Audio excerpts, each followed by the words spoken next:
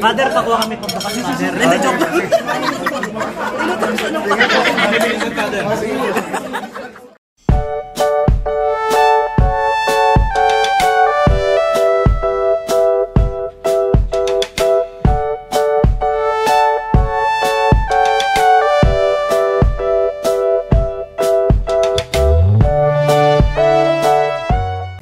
guys, this is Marky Alonzo and welcome to my channel. Today nandito tayo sa Loyola Heights, Quezon City sa Katipunan dahil a-attend ako ng college reunion. So yung mga nakasama ko dati sa philosophy, magkikita-kita kami ngayon, kamustahan. So first time ko nga attend, let's see kung anong mangyayari. So ito yung nag-serve na bahay ko ng ilang taon. So balikan natin, excited ako makita sila.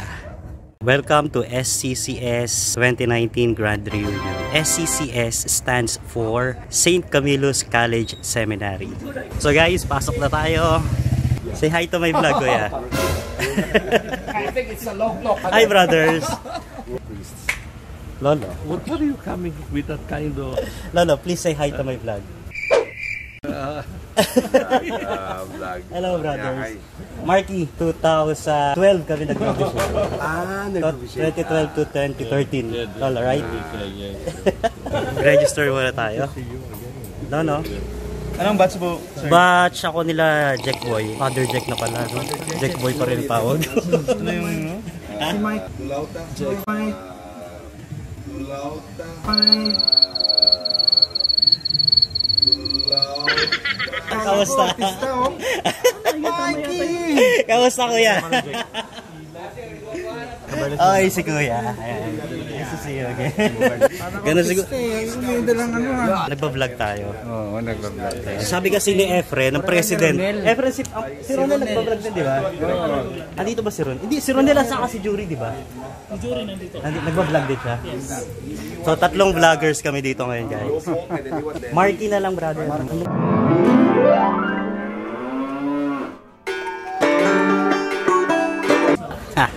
Haha. Ang tema pala ay rediscovering our purpose, no? Ano kayong sabihin nun? This one, but a blank page. Oo. Oh, may pa-certificate, guys.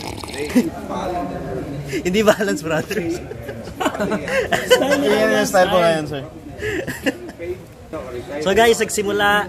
Ayan. Five, five already. Oh. Ang habol ko rito inuman. Thank you, brothers. Thank you, kuya. See you mamaya sa walwalan, guys. Ang habol ko rito inuman. Hindi, joke lang. Libre na lang. Ah, Ay, may bayad ba yan? Bayad pala. Magkano bayad? registration, 1,000. But you are late, you can donate something. So magkano pwede kong i-donate? Ang habol ko rito inuman. So ang late daw, you can give something. ah, okay. So magbigay tayo ng magkano isang Red Horse? So magkano ibibigay ko?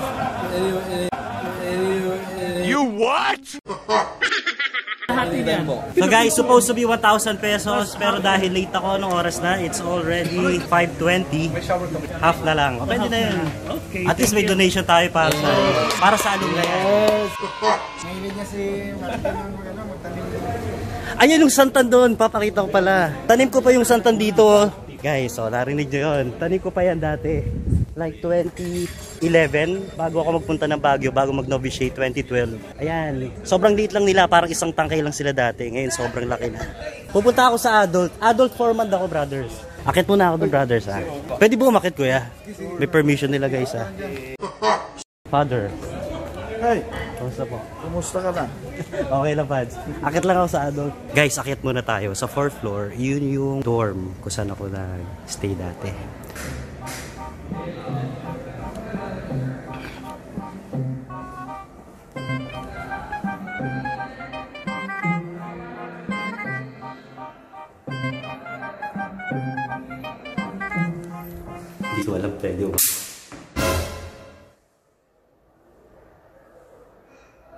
Yun? so guys, akyat tayo sa fourth floor. May nag-aaral ako ng philosophy.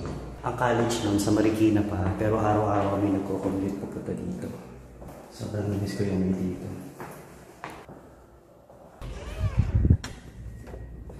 So that's the auditorium.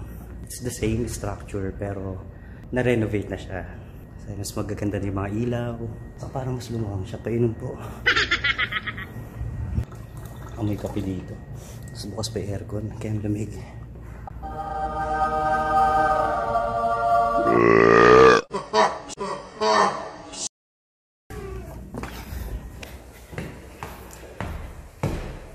So guys, eto na tayo sa fourth floor. Hindi ko alam kung may tao. Pero dito ako nag-stay dati.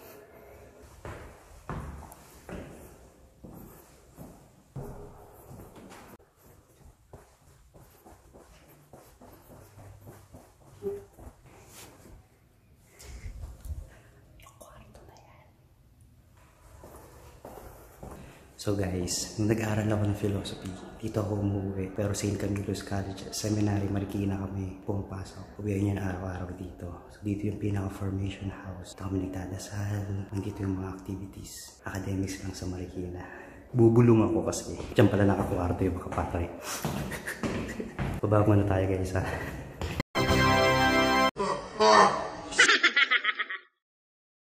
So guys, nag-edit na ako ngayon.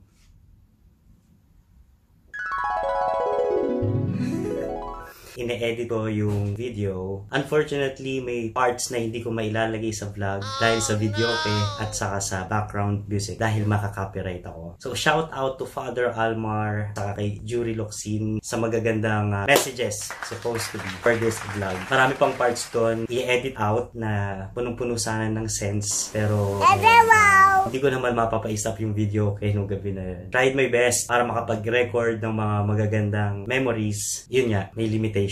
So guys, let's go to the third part of this video which is kasama yung mga tropa. Ayan, may mga sharing din doon and masasayang memories. I hope you guys could still enjoy the video.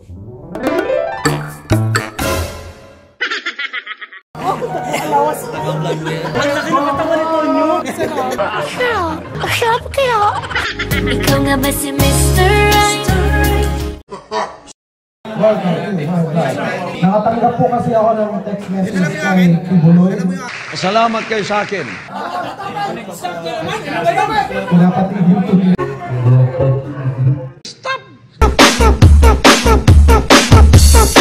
Sabi ko na stop! Lindol, stop! Umi stop! Sabi ko na stop! Stop! Stop!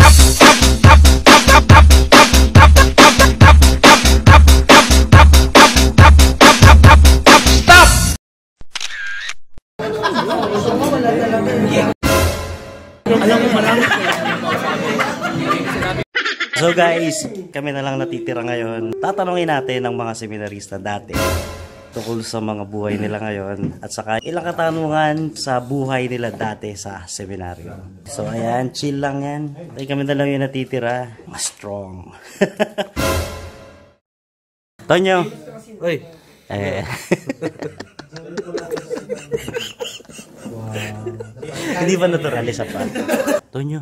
Uy. Ikaw nga ba si Mr. Right?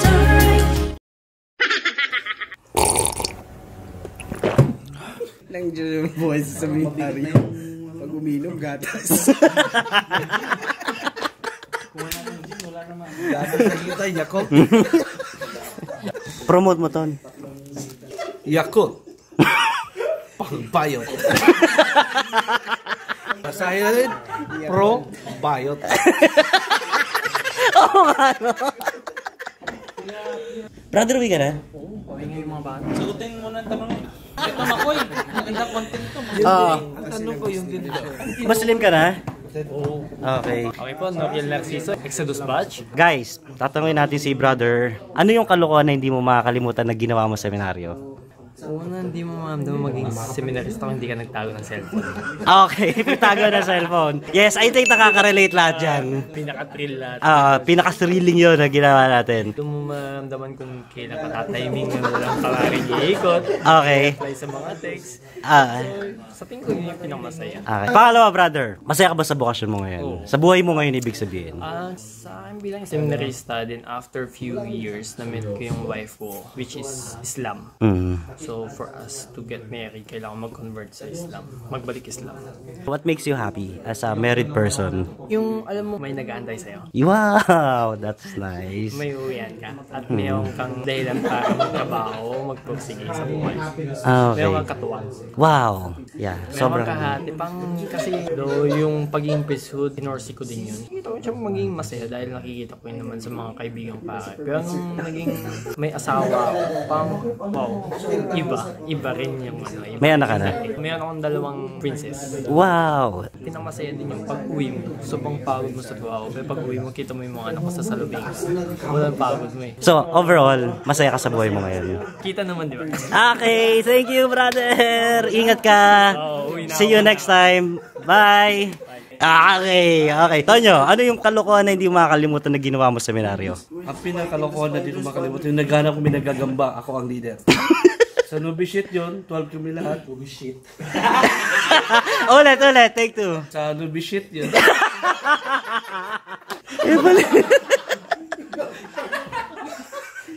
Okay. Sa novitiate yun.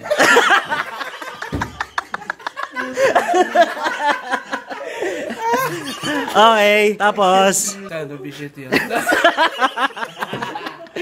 Bisa ko nun. Ayun, ayun. oh, yeah. No, bisa ko nung nasa Baguio kami, sobrang lamig kasi doon, sa aming katuwaan. Dahil ako ang leader, ako din medyo kuya-kuya. Naghanap kami ng gagamba. Sabi ko sa mga kasamahan ko, gusto nyo ng maraming gagamba? Isa lang. Pag tumayo yung gagamba, ilagay yung sa mata nyo. Ginawa nila yun. Nakahanap kami ng maraming gagamba. Ba't mo kami ilaway ko? Tapos nung naglaro kami ng gagamba, nahuli kami ng pare. ano sabi ni Father Ben? What is that? Sabi ko, we are just playing the spider. Okay, pero kabash ko siya guys, sobrang enjoyable yung moment na yun. Yun. Kasama ka nun, di ba? Oo, Ton, masaya ka ba sa bukasyon mo ngayon? Ah, syempre, sobrang saya ko. Kasi nga pala nakita ko na yung teaching, yun talaga yung bokasyon ko. Kaya kahit sampung section yung nahawakan ko, from grade 9, 10, 11, 12, kung wala kang pagod, inspired ka lagi. Pagising pa lang, nakikita mo na yung future ng mga bata. Sabihin, masaya ka talaga sa buhay. Thank you. Okay, thank you. Brother, Eugene Cafe. may dalawa akong tanong. Una, ano yung kalokohang di mo makakalimutan ginawa mo sa seminaryo? Kalokohan. Mabait ako eh. Uyo. Kalokohan! Sa novitiate din. okay, ano ginawa mo? Simple lang naman ginawa namin. Nagpumunta lang kami ng wagwag ng gabi. Lumabas kayo ng walang paalam. Tapos nag-ukay-ukay kayo nung gabi sa Baguio. Pagbalik namin, ando na pala si Padre Ruben naghihintay sa amin. Ang marami naman nangyari doon, nagtago na lang kami. Sa novitiate yun. Guys, move on. Nahihirapan. So, yun lang naman. Nabuking kami na pumunta pala kami sa ganun kan. Sa anong parusa ni Father Ruben sa inyo? Minimal lang naman. Bawal na kaming lumabas ng kan. Mag-exercise. So, Wala nang recreation. Ah, recreation sa loob. Doon lang. Pero sa- outside wala na. Yung mga jogging. Wala na. Kaya, yun. Seminary. Okay, masaya ka ba sa buhay mo ngayon, brother? Saya naman tayo. Siyempre lasing tayo sa masaya. Okay. Sabi nga na kanina na naka-sombrero eh. Ang teaching ay pagtuturo. Oo nga. Sa novitiate yun. ay maganda naman teaching. Saka, So, teaching ka ngayon, masaya tayo brother? sa status natin ngayon. Ay, charong. Okay. Okay. Thank you, brother. The best. Charong. Okay, go. Wait lang. Pinagaya ako. Hi! I'm Efren Corpus. Musta? Okay lang. So, brother, I have a question. Ano yung kalokohang di mo makakalimutan dati nung nasa seminaryo ka pa? Naglasing ako ng naglasing sa seminary dahil sa tequila tapos nagsuka-suka ako sa Francie Arna. Buti na lang may naglinis. Masaya ka ba sa buhay mo? Well, there's no other choice but to be happy in life. Creating an impact or positive impact in the life of other people, that makes me happy in my life right now. Okay, paano yung happy? Happy! Thank you, Efren. You're welcome. God bless. God bless you too. Hello guys, I am Belvin Sanchez. No, Alright. First question. Kalokohan na ginawa mo sa seminaryo na hindi mo makakalimutan. Ah, Okay. Yun, umibig sa bakla. Happy! Okay, isa pa. I have two questions. Una, kalokohan na hindi mo makakaulitin natin. Joke daw eh. Best, ano yung kalokohan na hindi mo makakalimutan ginawa mo sa seminaryo? Siguro nung ano, nasa postulancy kami. Siguro background lang, no? Nung nandun kasi kami, bawal talaga manood ng TV. Ngayon, kataon na yung formator namin wala. Nanood kami, may kasama ko. Eh parang masyado akong natuwa dun sa pinapanood namin. Eh, parang kailangan ko maghanda ng snacks. Punta ako dun sa kitchen namin. Kaya ako ng snacks. Kaso, sakto lang rin. Eh, dumating yung formator namin. ano sabi ni Pa? Huli. Okay. yung kasama ko. Pagbalik ko dun sa sala namin, pinapagalitan na yung kasama ko. Nakonsensya lang ako kasi hindi ako mami na kasama ko dun sa Iniwan mo siya sa ere. kawawa. Okay, shout out to Jeff Boy. Jeff, sorry. Best, masaya ka ba sa buhay mo ngayon? Masaya. By the way pala, no, 8 years din ako sa seminary. So medyo masakit din nung lumabas ako. Kasi parang pagkikipag-break lang yun sa isang relationship. Parang 8 years. Pero may mga bagay kasi na kailangan mong unahin muna sa sarili mo para to pa rin yung gusto mo sa buhay. Pero nung lumabas ako, naging masaya naman ako. Kasi nakakatulong pa rin naman ako sa iba. Lalong-lalo na dun sa pamilya ko rin. Masaya. So overall, best, no regrets. No regrets. Ah, okay, I'm here. Thank you so much, Belvin. Ayan, that's my best. Yes! Hello po, ako po si Dennis Andamio. Kala ko na hindi mo makakalimutan ginawa mo sa seminaryo. Well, hindi lang siya siguro exclusive sa akin. Usually, ginagawa namin batch eh. Oh, batch. ano ginawa niya, brother? Every marketing, pang-apat, pang-limang taon namin sa seminary. Kasi kami kasi naka-assign dyan sa marketing. Ang ginagawa namin, instead na talagang binabantayan yung mga binibili namin, iniiwan na lang namin dun sa tindahan kung saan kami bibili. Kasi may suki na kami. Afterwards nun, uh, the period ng marketing namin, nandun na kami sa ano, Facebook. Nagano kayo, computer shop? Computer shop kami. Kami lahat ah. Para sa kaalaman ng marami, bawal kasi ang gadget sa loob ng seminary. Yes, that's true. Hindi ka na seminarista, di ba? Yes. Okay, masaya ka ba sa buhay mo? Oo naman. Masaya naman ako. Bakit? Anong ginagawa mo ngayon? ano, working, uh, providing for myself pa ngayon. ah. And of course, uh, planning to have in the future ang vocation na pipiliin ko. That's married life. Hindi ka na magpapare. Hindi natin. Kasi pagkakaalala ko, pagka-graduate ah, graduate ng 5 years, that's philosophy na lalabas na after. Oh, so maaga ka nakapag-decide. Kung baga alam mo na kagad yung gusto mo. Definitely. Thank you so much. Okay, bye. Can you introduce yourself, please? Hello, I'm Wilson, batch 2014. Ready ka na ba sagutin ang dalawa kong tanong? Anong kalokohan na ginawa mo sa seminaryo na hindi mo makakalimutan? Parang ang exclusive ah, grabe. Kuha na hindi ko makakalimutan. Bakit parang interesado ka, Kuya Efren? Si Ronel, partner ko to si Ronel. Ronel, say hi, Ronel. Ronel, say hi. Hoy! Alam mo kuya, si Ronel that time, music chairman. Okay. Hoy, Kuya Efren! Tapos may dala siyang susi sa mu- music room. Inuutas, inuutosan niya si Kuya, ano? Sino yun? Kuya. Inutusan. Kuya. Archibald ba yun? Archibald na bumili ng ano, in can. In can na beer? Oo. Okay. Habang naglalakad kami sa college, tumutunog yung mga ano, in can na mga chuchu. So nagpasok kayo ng alak ang dahil kay Ronel. Yan na rin ba yung kalokohan i-share mo, Ronel? Ronel, share mo yan mamaya. Tapos dahil may access siya sa music room, doon kami nagiinuman. Naging masaya naman. Oo, happy naman kasama si Ronel. well, happy naman yon Kahit kami gawain din namin yon Di ba, best? Di ba gawain din naman ng batch natin yon Tayo dalawa pa si Muno. Saka si Jake Boy, nakikiupo yan. Father. Okay, thank you. Wilson, masaya ka ba sa buhay mo ngayon? Kung di mo man pinagpatuloy ang pagpapare, may plano ka bang pagpatuloy yun? Ewan, wala na siguro. Wala na siguro. Masaya ka ba sa buhay mo ngayon? Anong ginagawa mo? Ngayon, nagtuturo. High school, Ah, college? high school, tsaka college. Eh, masaya maging teacher, tama? Exciting kasi mga estudyante na marami mga iba't ibang kwento. Nood kayo itong si Batsa. Marami rin ako natutunan sa kanila. Sa kanila mga life stories. Hmm. Kumbaga, parang pinoform mo rin sila, di ba? As a teacher. At the same time, yung mga natutunan din ako sa kanila. Akala ng mga students, sila lang. Pero, nakaka-ano din kami sa kanila.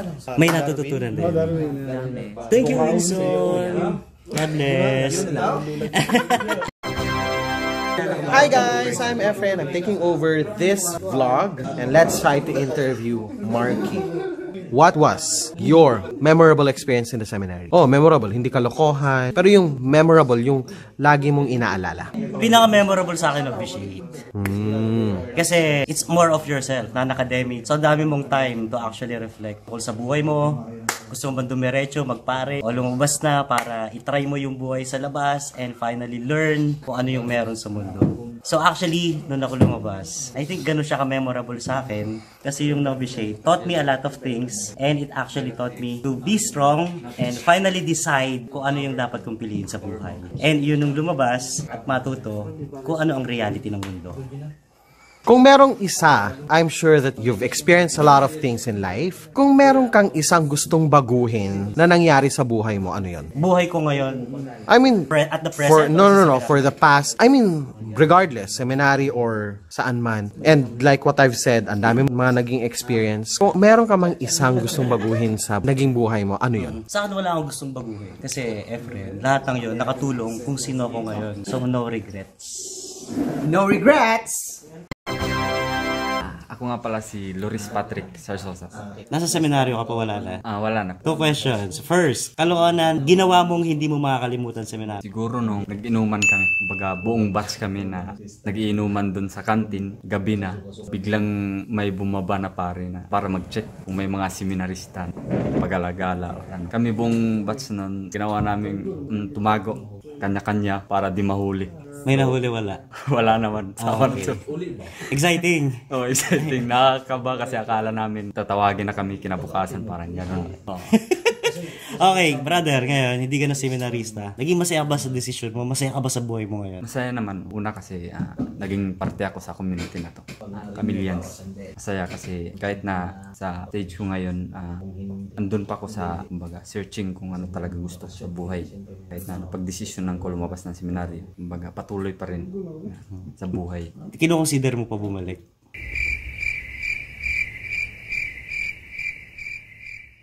Napapaisip ako pa kasi may mga mga brothers ako dati na minsan na tinatanong ako if gusto ko bumalik. Hindi nawawala sa isip ko. No? Kumbaga, tanongin sarili ko kung baka gusto ko maging pare. So, overall, naging masaya ka sa decision mo. Masaya ka Oo, ngayon. masaya naman. That's the important thing naman. Masaya ka ngayon. Personal na decision ko yun. Okay. Personally, is happy and thank you, din. God bless, brother. Bye. Introduce mo rin sarili mo. Ano pala? Clifford. Okay, handa ka sa dalawang tanong. Una, kalokohan na ginawa mong di mo makalimutan. Nagnakaw kami ng pagkain sa kitchen. Actually, yung kinain namin, pagkain yun ng mga pare. It's the motherfucking Eagle Double G. Snoop Sorry, natawa ako. Kaso nga lang, hindi namin alam na may pare pa palang hindi kumakain. Kinain namin yun, isang buong, isang buong fried chicken. Hindi kasi anong oras na yun, mga alas 10 na. Oo, inisip yung Lights tira out na yun. Oo, lights out na. Eh, meron pa palang pare na nagmisa sa labas. Si alam namin kasi kami yung washer nung gabi na yan. Kinabukasan, pinatawag kami lahat kasi walang nakain si ano. Si father. Si, oo. no. So ngayon, ano, nagtinginan lang kami ng kasama ko. Pero di kayo nahuli. Hindi, hindi naman kami nahuli. Nice. Safe. Pero ano, ilang beses namin ginawa yun. Okay. may ano pa, oo, may one time pa na kinulang kami sa ano, sa ninakaw namin pagkain, nagluto pa kami. Bet malu. Oo, nagluto pa kami. Yung hotdog ginawa namin, hindi namin prinito, nilaga lang namin. Oo. Oo, masaya naman kasi syempre, kumbaga may thrill. Kumakain kami, yung nguya namin, dahan-dahan lang kasi baka marinig. Sobrang exciting. Oo, tsaka masarap yung experience kasi kinakain namin siya. Doon sa may ano, tawag dito sa may nawasa. Elevated water tank. Mm, Oo, doon sa kami, water. doon kami kumakain. Sobrang sayang experience. Kahit Okay. nakakatak. Very exciting nga yan. Okay, ngayon, nasa seminaryo ka pa. Wala na. Masaya ka ba sa buhay mo ngayon? Ano ginagawa mo? Kung saya, oo naman. Kasi ano na eh, may dalawang, ano na ako eh, dalawang anak. Problema, oh, madami. Pero yun yung, kumbaga, nagpapatatag sa akin eh. May time nga, Sobrang dami kong problema. Napaisip ako, dapat hindi ko pinasok yung ganitong buhay. May asawa na ako eh. Pero syempre, inisip ko na lang, ito na yung binigay sa akin eh. Kumbaga, ito talaga yung tinadhana sa akin na vocation. Yan ang bukasyon nito. Oo. binigyan na akong dalawang biyaya. Wala Kailangan kami ko na- yan. Oo. Mapalad ka, meron ka. So overall, happy. Oh, sobra. Okay, thank you. God bless. More babies to come. Ay, ako na, tama na kota na. Babae at lalaki na eh. okay, thank you, Clifford. Introduce yourself, Father. Ay, ako po si Jack. Ako po yung natira sa batch. solo, solo. Okay, si Father Jack. Father Jack, handa ka na sagutin ng dalawang tanong. Oh, anong tanong? Okay, una. Kalokohan na ginawa mong hindi mo makakalimutan sa seminaryo. Meron din namang ilan, pero yung hindi siguro makakalimutan talaga ay yung nagising akong maaga para makapag-internet sa computer room. Ayan. Anong formation? Yung nasa college pa. Okay, college days. Uso kasi yung Facebook that time, so kailangan updated ka. So, kailangan Okay. makapag-internet. Napaka-sweet naman ng kalokohan mo there. okay, ngayon. Masaya ka po ba na naging pari kayo? Tama ba yung decision mo, Father? Oo, kahit uh, naiwang mag-isa, ah, fulfilling naman din talaga kasi yung buhay na napili na magpatuloy sa paglilingkod, service, ika nga sa simbahan. At lalong-lalo pa siguro ngayon kasi nasa ako sa Calbayog, na medyo malayo sa Manila, medyo maraming tao yung nangangailangan talaga ng tulong. At yung hospital namin sa Calbayog, siguro one of the places that they could rely on whenever they need uh, uh, healthcare services. No, ma- yaman man o mahirap, we are really able to help those people. Parang, Thank you, Father. We are praying for you. Okay, rock and roll. rock and roll. Thank you. Okay, guys. Thank you for the wonderful day. Efren, congratulations for the success of the reunion. See you guys! Bye, Efren!